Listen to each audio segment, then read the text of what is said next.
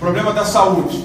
Problema gravíssimo, eu dizer aqui ao Márcio Lacerda. Mais grave dos problemas da prefeitura, provavelmente dos prefeitos que estão aqui, se não for a saúde, o primeiro é o segundo. O caso de São Paulo é o primeiro, o segundo e o terceiro problema.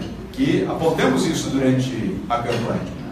Só em exames médicos, tínhamos 476 mil pessoas, volto a repetir, 476 mil pessoas esperando para fazer exames médicos na cidade de São Paulo. Quase meio milhão de pessoas na fila.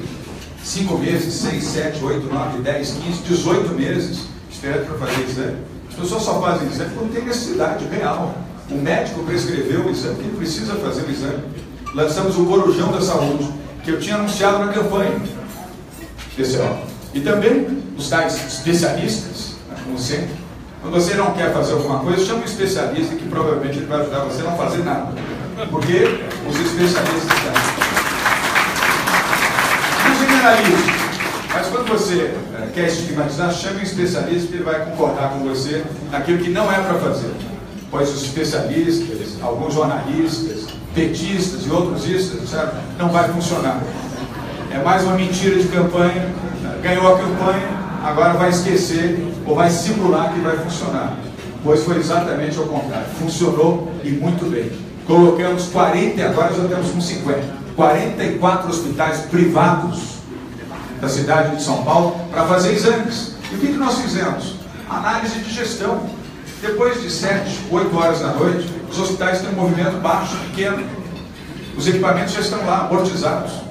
Os que fazem todos os exames de raio-x, aos exames de ressonância, os equipamentos estão lá, já estão amortizados.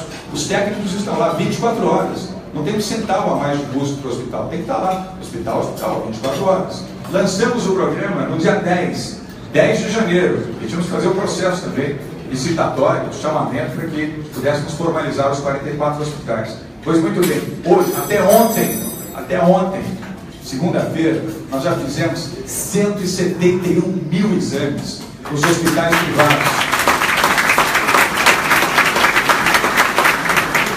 Hospitais, presente, de rico, é o Albert Einstein, o Ciro Libanês, o Hospital Alemão Oswaldo Cruz, HCOR, Beneficência Portuguesa, hospital onde o pobre não ia, não tinha acesso.